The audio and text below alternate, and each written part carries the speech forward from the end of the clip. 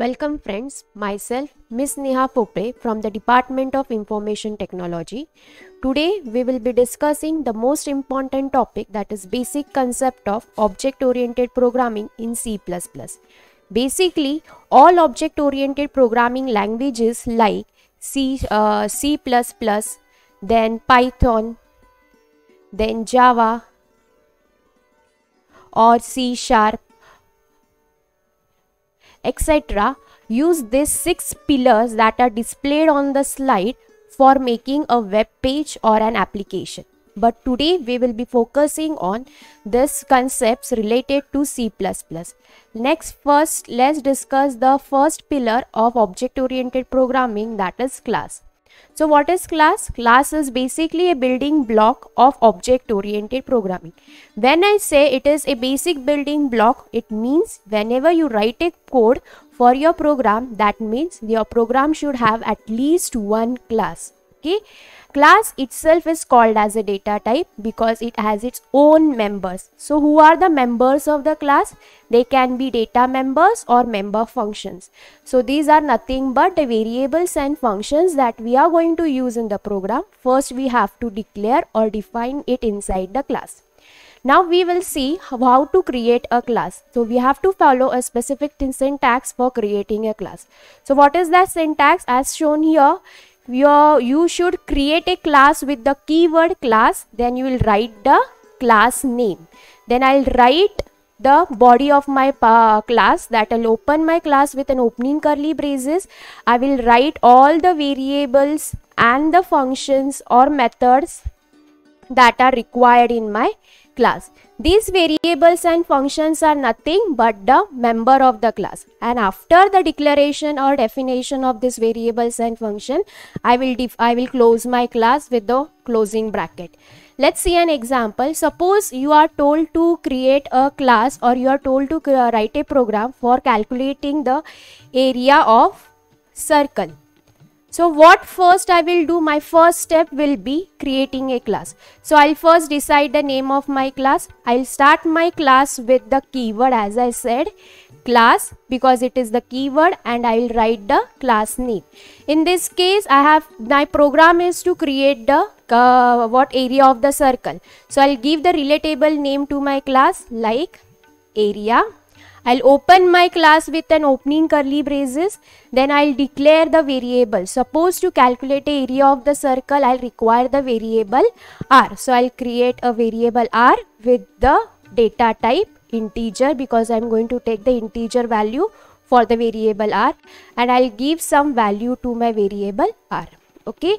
Now to calculate the, to do that calculation part of the area of the circle, I will define one function uh, like the area of circle. I'll give the name as area of circle with the return type void.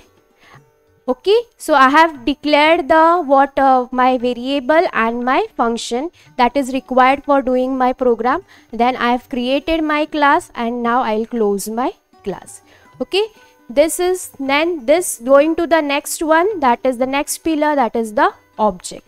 What is object? Object is the entity that we see all around us that can be living thing or non-living thing. Okay.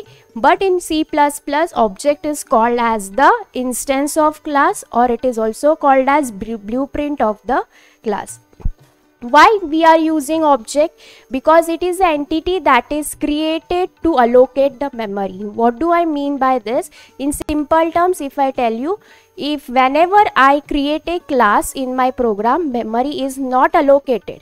But the moment i create an object of my class that time memory is allocated. Now how to create this object? There is one syntax to be followed. Simple. First i will write my class name and then the object name. If I take previous wala example, there I have created a class area. So here also I'll create an object for the class area. So I'll write my class name as area and any name I can give as object name. I'll give some relatable name as A. Got it? So area is nothing but my class name.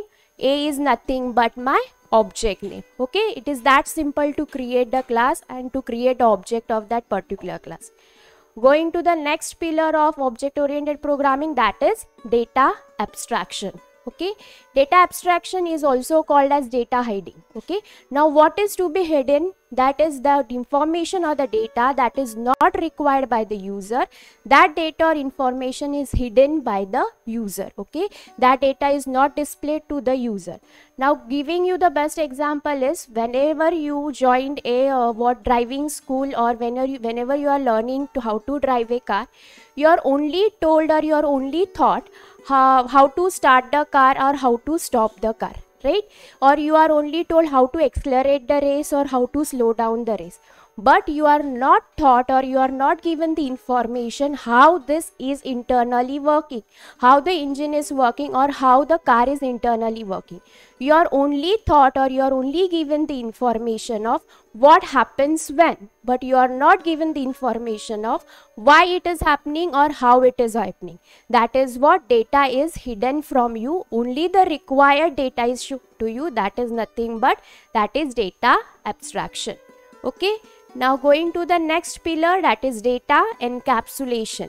Okay, data encapsulation is nothing but wrapping of data or information together into a single unit. Okay? That is the best example so i will give you. That is the gift wrap. Okay? The gift that you are giving to your friend or to your relative or your like one you are wrapping it inside the box or it, you are wrapping it in uh, what with an attractive wrapper okay?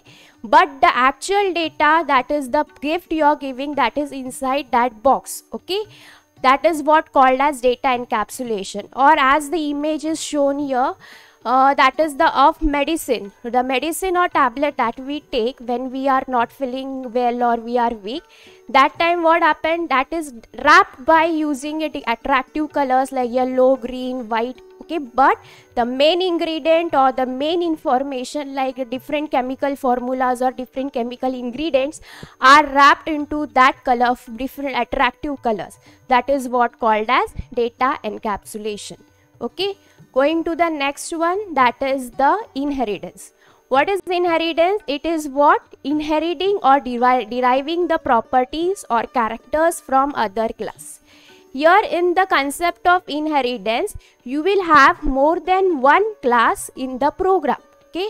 As I am saying more than one class, so the, there will be the type of classes like the parent class and the child class. Okay as i'm saying it as parent class and child class from the name only you will be you will get an idea कि child will inherit some properties or characteristics from the parent class okay the best example would be when we see a uh, newborn baby or a one month baby we usually pass a comment or we give a compliment that baby's eyes look like his mother baby's nose look like his father.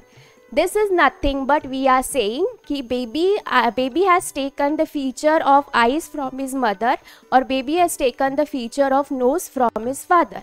That is what taking the properties or sharing the properties from the parent to the child that is what called as inheritance now there are the types of inheritance that is single multiple hierarchical multi-level hierarchical and hybrid inheritance Let's discuss this one by one. Okay. What is single inheritance? As the name suggests, it has only one class that is parent class and the child class. There will be only one base class, one derived class.